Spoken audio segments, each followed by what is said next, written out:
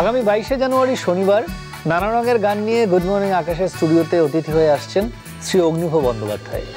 Good morning Akash কাল সকাল সাতটায় আকাশ আটে।